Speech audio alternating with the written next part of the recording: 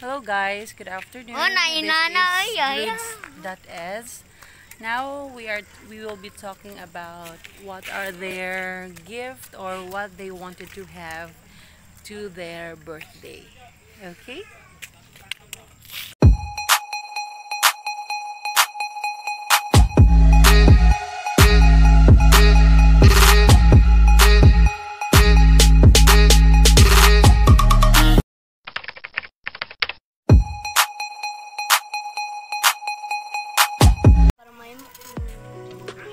Hello Kuya Ash. What do you want sa birthday ni mo? ako kay bike para sa para maka para ma-biker na din ko. Wow! Be?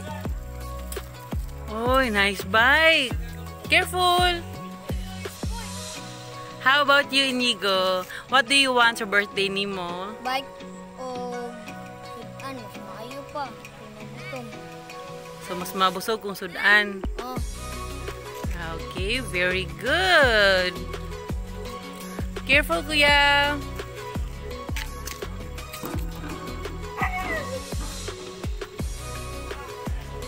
Okay, so we're just checking here to have some fresh air.